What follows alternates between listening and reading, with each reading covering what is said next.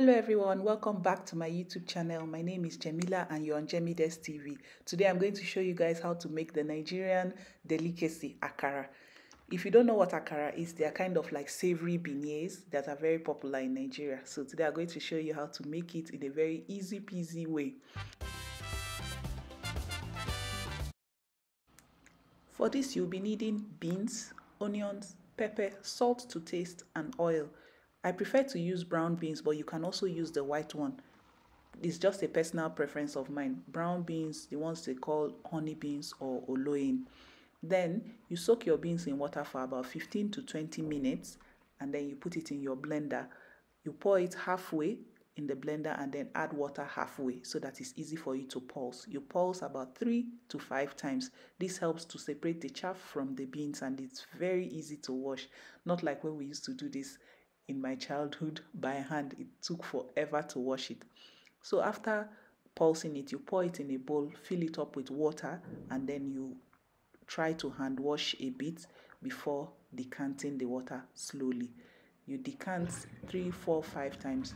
You keep decanting and separating the chaff until the beans is clean.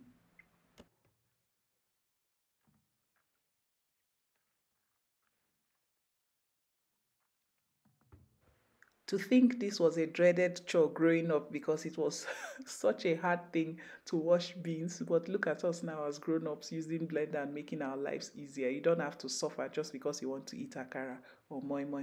So if you're not doing this in your sink, be sure to dispose the water far away because beans water smells awful after a couple of days. So make sure to dispose the water and wash everything.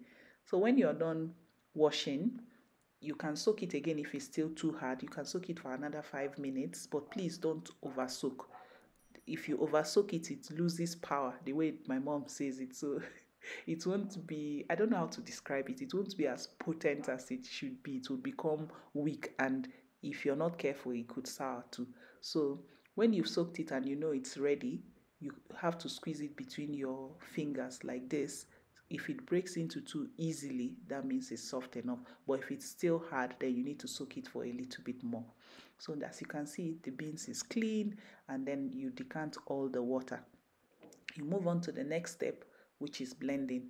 The mistake a lot of people make is adding too much water when blending. Just add a little, enough to blend it so that you don't end up with splatters in your oil when you're frying.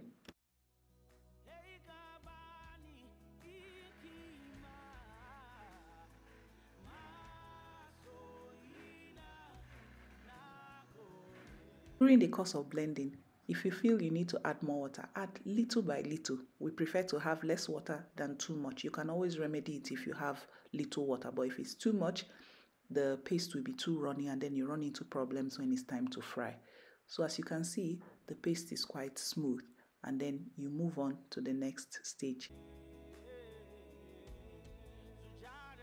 The next step is to chop your onions and add some pepper, and some salt. Then the secret to fluffy akara is using a hand mixer. This is another trick that our childhood would be jealous of. As you can see, I don't have that big mortar where you can roll it to make it fluffy. So these days you can use your hand mixer and achieve the same or close to the same results. So you mash up your onions and pepper a little bit till it looks like this and then you add your akara paste to it.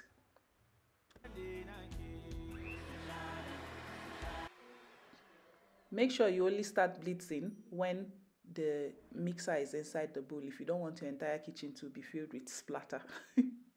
so you keep doing this until you get a fluffy consistency, then you're ready to fry.